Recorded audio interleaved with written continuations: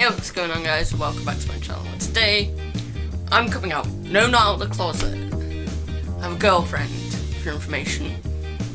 But I'm, oh, for some of you who don't know, or new to my channel, or have never met me, won't know that I have a condition. What kind of condition? Heart condition. What it means? Well, so many years at university, training to be a doctor version, pulmonary atresia with an intact ventricular septum and severe right-sided hyperplasia. Whew, that's a mouthful. Or PAVIS. Teenager who doesn't know what the freak I just said means. Half a heart.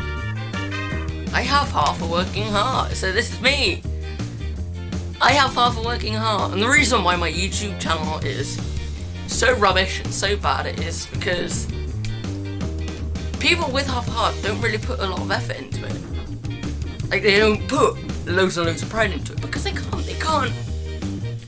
It's why we do everything half-heartedly and why everything is so bad, like my YouTube channel, because we're so bad at stuff. I mean it. We're so bad at stuff. So, future videos, instead of it just being gaming or me doing sitting down vlogs like this, it's going to be hospital related videos. So like my experiences of going into hospital, what to do if you have a heart condition in the middle of summer or in the middle of winter, or what to do when you go outside. They're going to be helpful. My YouTube videos aren't just going to be pointless crap you watch when you're bored. They're going to be helpful so you can understand people a lot more better half a heart. So if you want to learn more about that, stay tuned because the next video will probably be me explaining all of that. Please do leave a like, subscribe down below, and yeah, thank you guys so much for watching.